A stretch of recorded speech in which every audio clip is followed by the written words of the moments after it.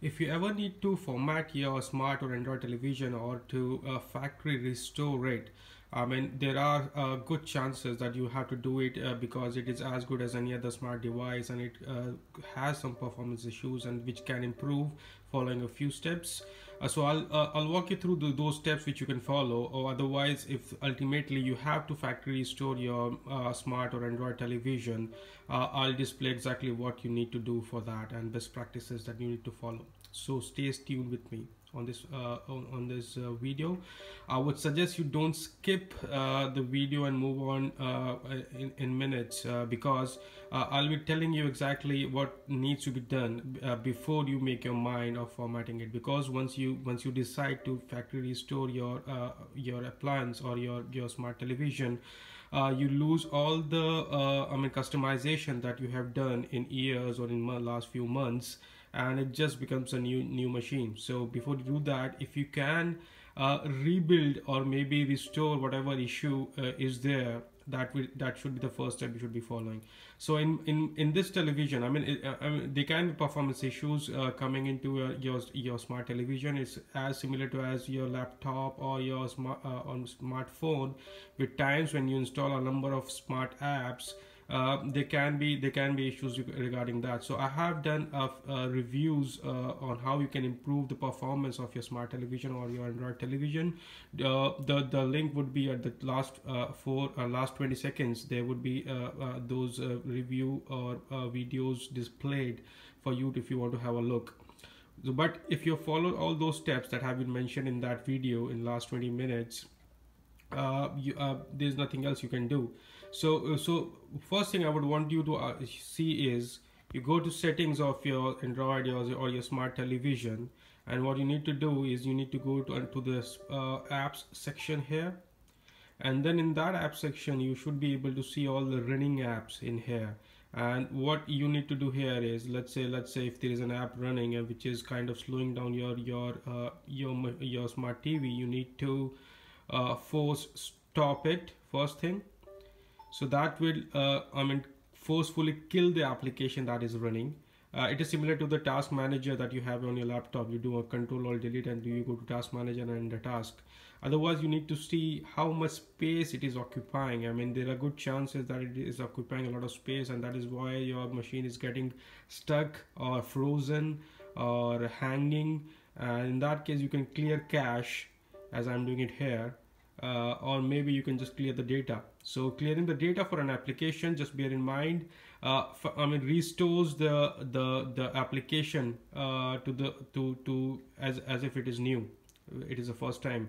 Whereas factory storing your smart television rebuilds your television and brings it back to where it was when you bought it new. So this is the first step you need to follow. If, the, if you think there is a particular application which is slowing down your laptop or uh, sorry or your television try to uninstall or install a force kill uh, or your that particular application.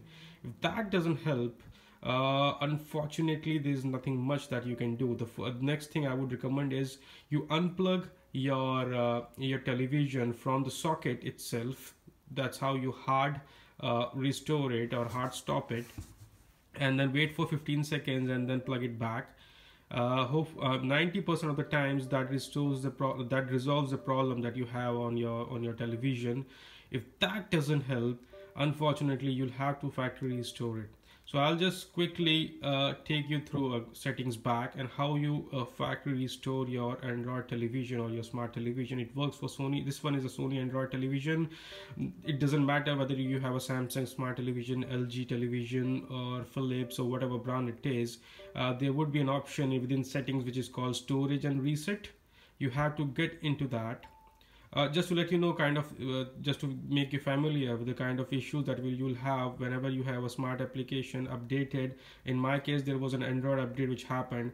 And when i go to see freeview which i used to get uh, used to see through it uh, um, it doesn't work for me. It's a blank screen. So this is this is something i've tried to uh, take care of uh, but it's not working. So for me the last option now is to restore this television okay? So we go back to storage and reset. Uh, just bear in mind once you've done that it's the full rebuild of the application of the, of the of the television. You can't go back. You go to factory data reset and then the hard uh, step here is to erase everything. Just be clear that you've taken a backup of, of all the applications all the information that you needed uh, customization steps will be customization for any particular app will be taken off. You'll have to uh, relink it again to uh, Wi-Fi. Uh, follow the steps uh, if you you linking it to your Gmail account or Google account you'll have to do it again. So okay? So in this case I'm just going here. It will ask you for uh, again whether you really want to do that.